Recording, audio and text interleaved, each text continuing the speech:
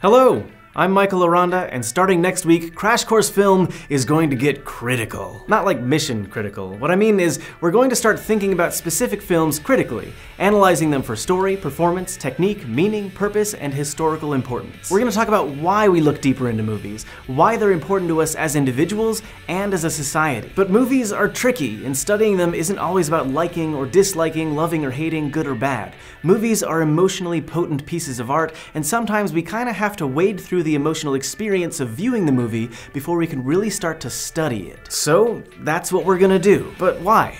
Why do we need to look deeper? Can't we just enjoy what we enjoy and not analyze something to death? Of course you can! Dude, no rules! But understanding how movies are working to manipulate your emotions or where the filmmakers are coming from to tell you the story they're trying to tell can help you understand more about, well, Lots of things. Things like history, economics, class struggles, race and gender inequalities, or even grief. Think about D.W. Griffith's views on race and how they helped create a deeply awful picture of black Americans during the Civil War in Birth of a Nation. Or about Lois Weber's confused views on contraception that led to an equally confused yet powerful film, Where Are My Children, that we'll talk about in this series. So, there's a lot to take in, but don't worry. It'll be fun, and hopefully educational.